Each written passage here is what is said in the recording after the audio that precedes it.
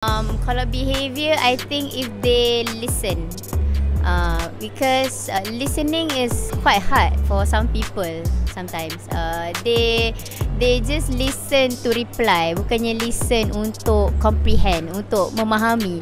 Uh, jadi kalau dapat orang yang betul-betul uh, mendengar dan memahami dan uh, cuba untuk memahami situasi kita tu kan, uh, it's a bonus lah for you guys kat luar sana. Ah, I tahu benda ni memang selalulah I dengar and I tengok juga. I don't know why. Tapi ni bukan semua eh, segelintir eh, jangan marah saya tahu. Okay, I don't know why but some guys dia suka pakai jeans berulang kali sampai jeans sudah nak lunyai dah.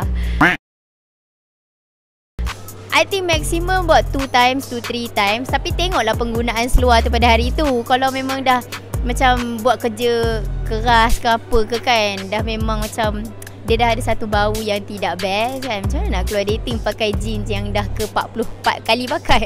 Uh, so I think yang tu lah Bella tak berapa nak gemar lah. But then some people find it very attractive. Maybe I don't know. But for me it's a uh, it's a turn off for me lah. Uh.